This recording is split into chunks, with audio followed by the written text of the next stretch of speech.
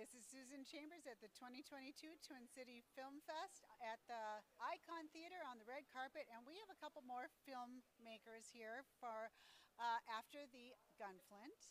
And I hear you're up for an award. Tell me about that. Yeah, we are nominated for the Indie Vision Breakthrough Achievement Award. That's a mouthful. I'm glad I didn't have to say that. Uh, tell me more about that. Uh, what you did with this. Well, came to me at the beginning of the film and said he wanted to have people crossing a, a bridge and have some special effects in there, and uh, so we worked together to figure out a plan for how we'd achieve that um, through visual effects and practical effects.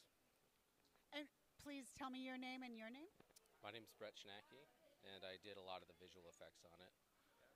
I'm Stephen Hauge. I was the production designer. Yeah. Uh, so this was this kind of combination of sort of what we call practical um, effects, meaning something that we built in a studio and combined with green screen and then video effects. And so I was sort of I was that guy on the ladder painting stuff and making things look like a real cliff. And then this is the guy that actually took some footage that JD put together and married them together to make it look like it was real.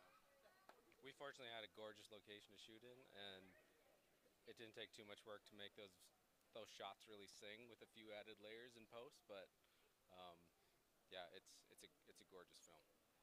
Um, do you have anything else in the works or any plans for a future film that anyone should know about? Not yet, but having done all this green screen work on a absolute micro budget, we feel pretty confident that we could do something bigger in the future. Well, I can't wait to see you guys tonight. I will be there. And congratulations. This is Susan Chambers at the 2022 Twin City Film Fest Red Carpet.